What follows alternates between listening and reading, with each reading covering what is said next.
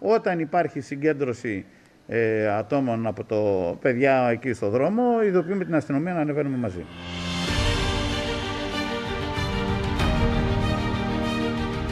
Μετά τις ρευματοκλοπές από το ραντάρ του αεροδρομίου Ηρακλείου, νέα ανησυχία προκαλεί αυτή τη φορά ο πετροπόλεμος εναντίον εργαζομένων του αερολιμένα που μεταβαίνουν στο χώρο του ραντάρ είτε για εργασίες συντήρησης είτε για τη διόρθωση βλαβών. Ναι, είναι μια δύσκολη περιοχή για μας. Θυμάστε, παλιά είχαμε την ε, ρευματοκλοπή.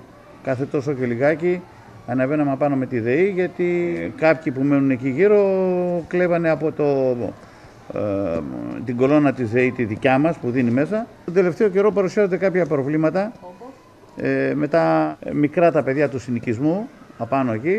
Αν πάει κανένας δικός μας ε, συνάδελφος, ε, τον προβοκάρουνε, του πετάνε πέτρες. Πρόκειται για απίστευτες καταστάσεις, όπως μας περιέγραψε ο Γιώργος Πλιάκας, ο οποίος αναφέρθηκε στην πρόσφατη περίπτωση εργαζόμενου, ο οποίος δέχτηκε επίθεση με πέτρες, με συνέπεια να προκληθούν φθορές στο όχημά του. Σύμφωνα με τον αερολιμενάρχη, ανήλικα παιδιά με την παρουσία μεγαλύτερων προβαίνουν σε αυτές τις απαράδεκτες ενέργειες. Έχει συμβεί μια-δυο φορές να μας προπυλακίσουν. Πετώντας μας πέτρες. Μπορεί να μας κάνει φθορά σε ένα υπηρεσιακό όχημα. Έγινε φορά σε υπηρεσιακό. Σε υπηρεσιακό έχει γίνει σε αυτοκίνητο συνάδελφο. Το οποίο λυπάμαι. Ειλικρινά λυπάμαι πολύ για αυτή την κατάσταση.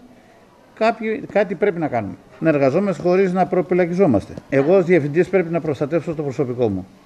Εμείς δεν πηγαίνουμε να γναντέψουμε τον πέλαγος, εμείς πηγαίνουμε για να συντηρήσουμε ή να διορθώσουμε κάποιες βλάβες που μπορεί να βγάλει το ραντάρ.